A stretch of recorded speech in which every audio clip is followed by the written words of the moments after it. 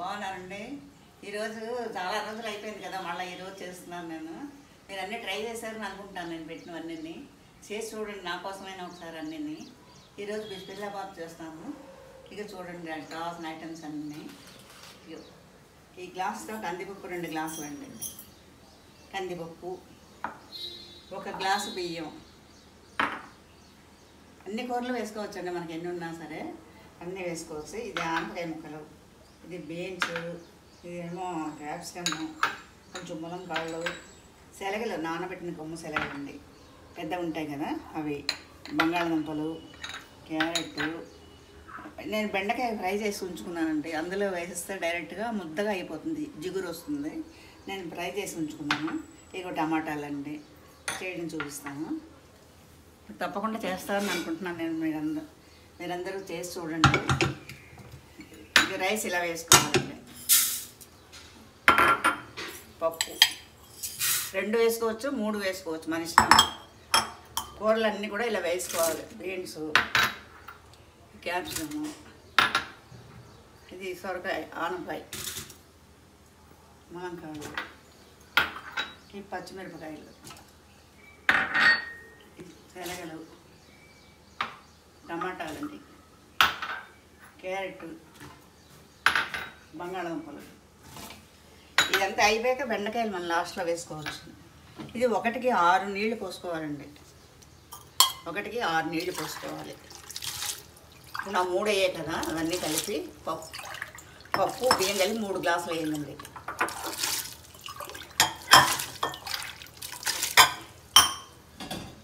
దీంతో ఆరు గ్లాసులు వేయండి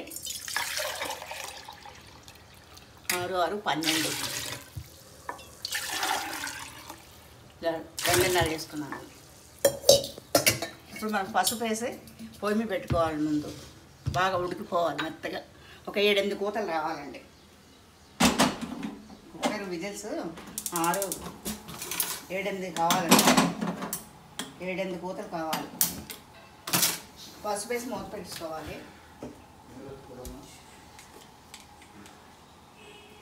కొంచెం పసుపు వేసి మూత పెట్టేసుకున్నాక బాగా ఉడికాక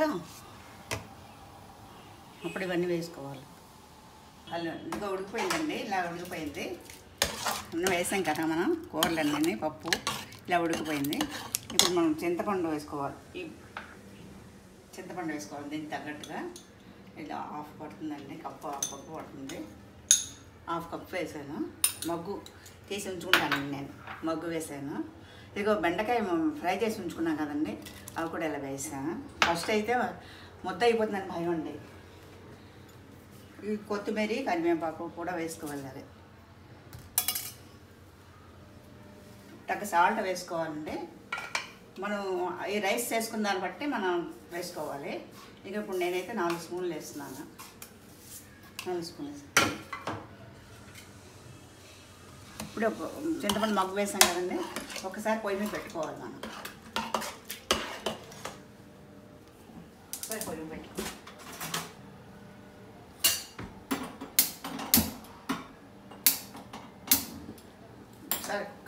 ఉడికితే సరిపోతుందండి. ఇది ఇలా పెట్టుకోవాలి.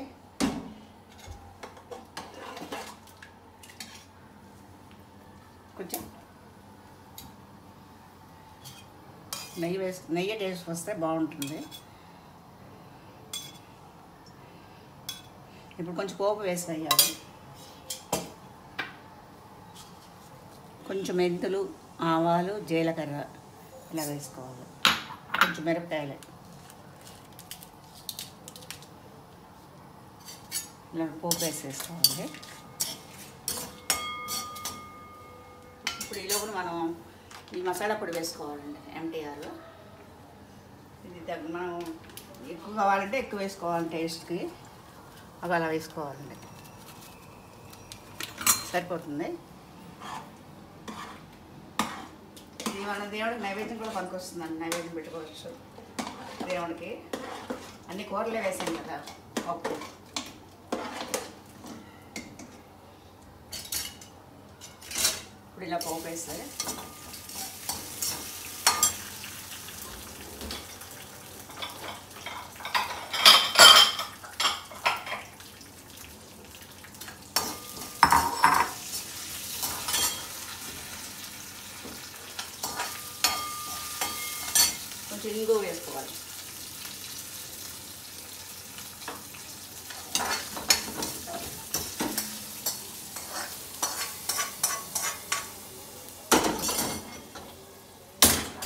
ఇలా ఒక్కసారి ఉడికితే దాన్ని ఒక్కసారి ఉడుకోవాలి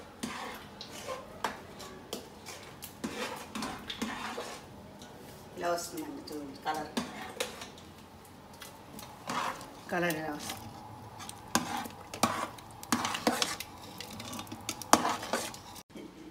నా వీడియో నచ్చితే లైక్ చేయండి. మీకు రెడీ అయిపోయింది కదా ఇలా రెడీ అయిపోయిందండి. ఈ నాది లైక్ లైక్ చేయండి.